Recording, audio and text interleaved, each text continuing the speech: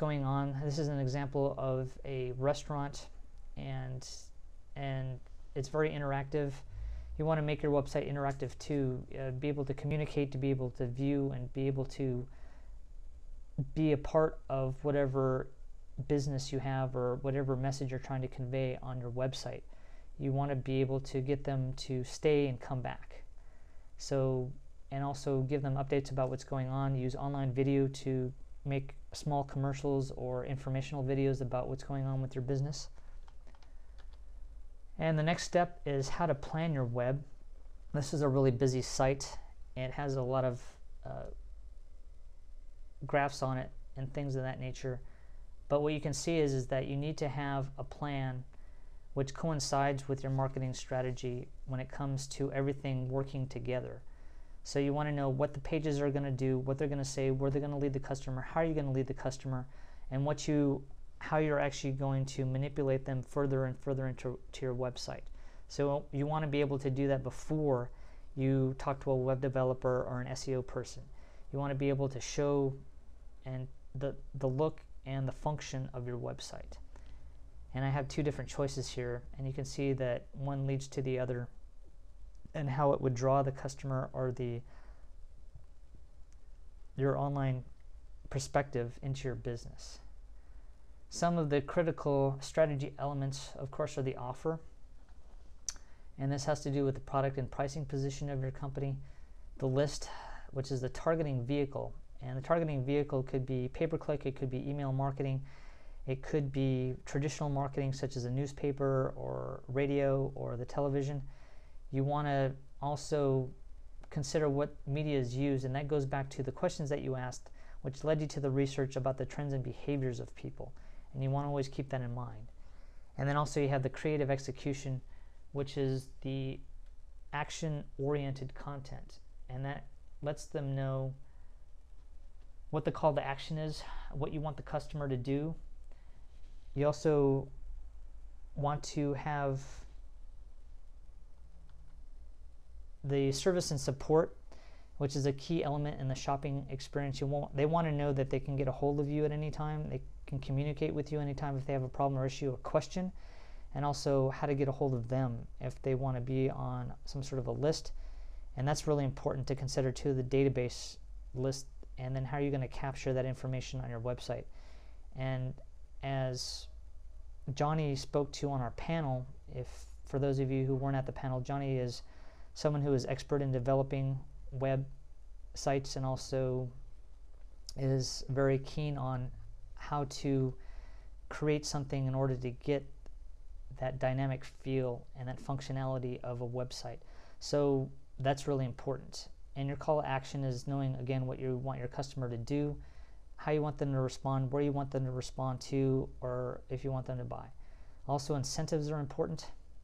You have a related product or service and special attractiveness to that target market. And that goes back to those questions, it goes back to the research and the trends and behaviors and all that other stuff. The third step is developing your e strategy.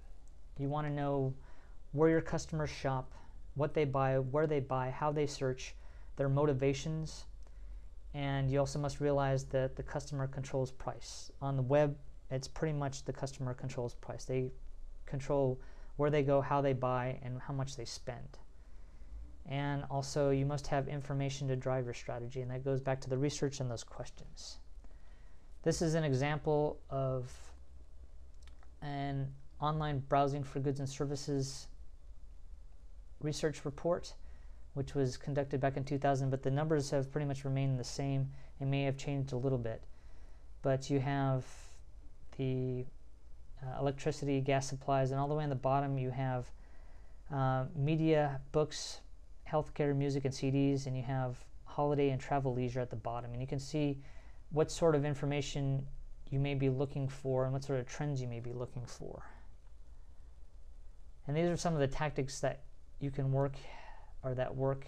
You have referrals, direct email marketing, search engine listings like SEO and SEM, you also have special interest sites with partners, and that's sharing links and things.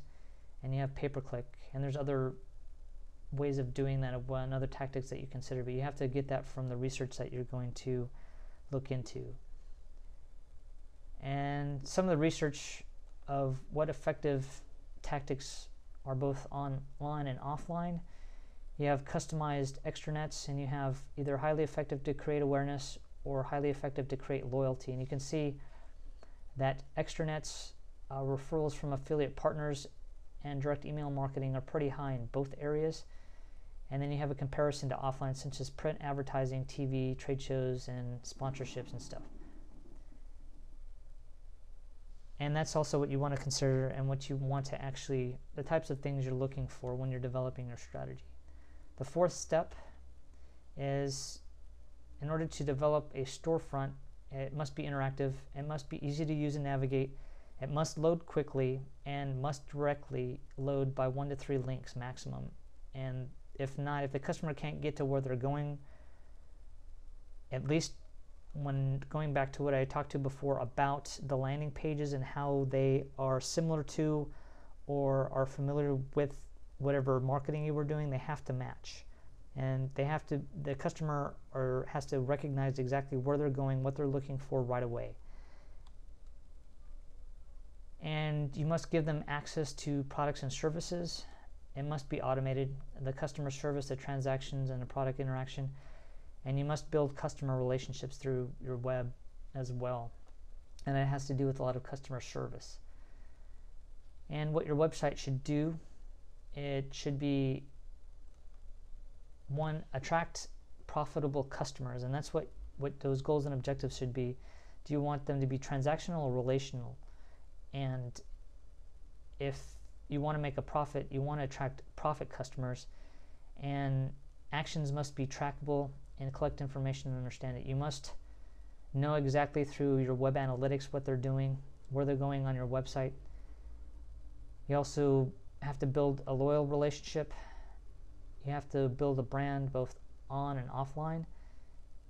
And you have to automate customer service, give them what they are looking for, and be interactive and easy to use. You also want to create instant gratification, eliminate or reduce buyer remorse and you want to be able to keep them interested and you want them to be able to do something while they're there. This next slide is targeted online advertising spending. These numbers have changed a little bit and they go all the way to 2014 now, but you can see what sort of behaviorally targeted advertising um, is displayed to a selective audience whose interests or intentions are relative to by website. So you want to be targeted back in going back into those trends and behaviors. You also what online video viewers are responding to to online advertising. Uh, when you use online advertising, you can see that they checked out a website, they searched for information. These are some of the things that you want to consider looking for or asking questions about when you're developing that strategy. And the next slide you have the behaviorally targeted audience that's uh, adult internet users who are interested in receiving personalized advertising and you can see the internet is 70% and mobile phones actually moving up too so you want to consider that as well when you're developing a tactic or a strategy what sort of medium you're going to be using when you're sending out personalized advertising and then also you have direct marketing tactics that US marketers combine with search engine optimization. You have SEO with targeting, so they're targeting specific markets, SEO and SEM with response mechanisms. So some of these some of these trends that you want to also keep in mind. You want to make sure that you're combining not only SEO and SEM but with targeted advertising or marketing tactics and to specific parts of the market Of course, I'd like to thank you for listening in on my presentation.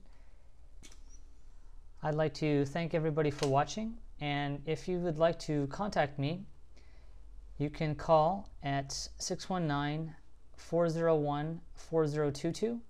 You can also email me. And for our blog, you can go to www.power-find.com blog. Again, thank you for watching and I hope you enjoyed our presentation. Thank you.